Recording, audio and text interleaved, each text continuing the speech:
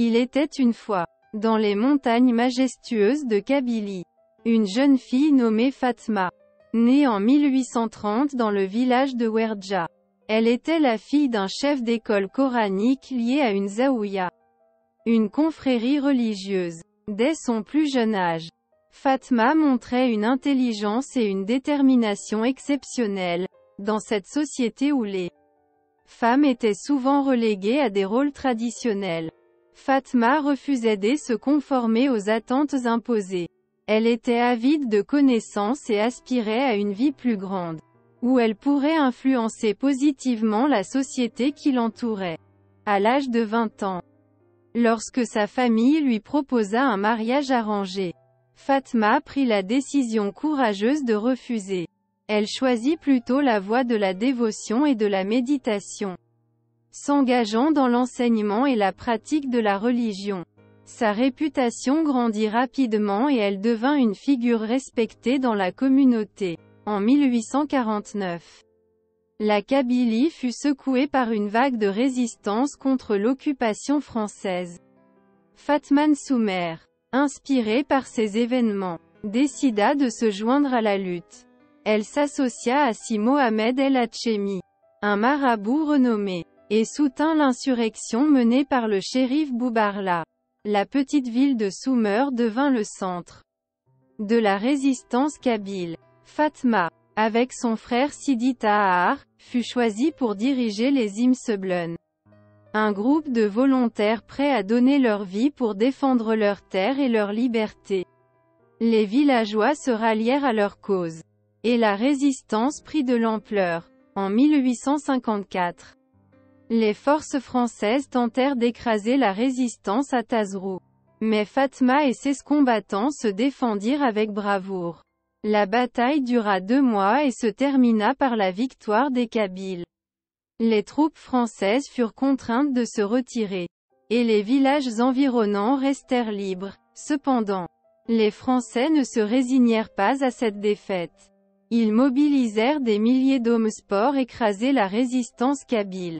En 1857, Fatma fut finalement capturée par le général Youssouf et était menée dans un camp français à Timegida.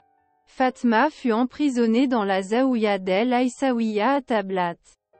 Son frère, qui avait également E accent aigu TE accent aigu capturé, mourut en 1861 plongeant Fatma dans une profonde tristesse. Affaiblie par son incarcération, elle succomba à la maladie en 1863.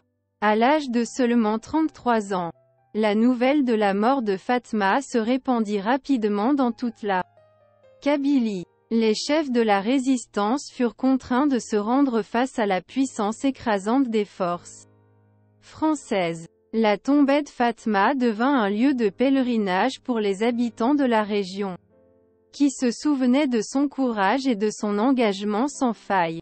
Au fil des années, le souvenir de Lala Fatma Soumer se transforma en légende.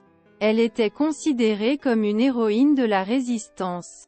Une femme d'une grande beauté et d'une force extraordinaire. Les récits populaires magnifiaient sa détermination et son charisme la décrivant comme une prophétesse berbère, une guide spirituelle pour son peuple.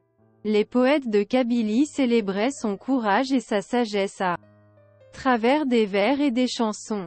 Son nom résonnait dans les montagnes, symbole de la lutte pour la liberté et la dignité.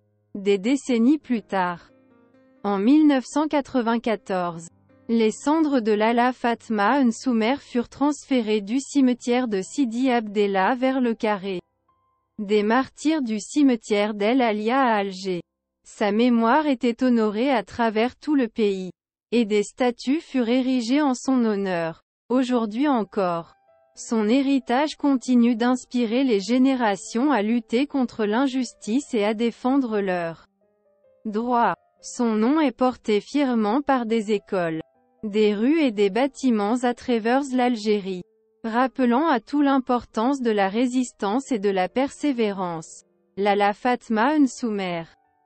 Cette jeune fille audacieuse devenue une icône de la résistance.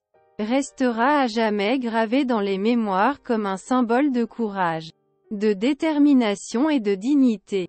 Son histoire rappelle que, peu importe les obstacles qui se dressent sur notre chemin, nous avons le pouvoir de nous lever et de lutter pour un avenir meilleur.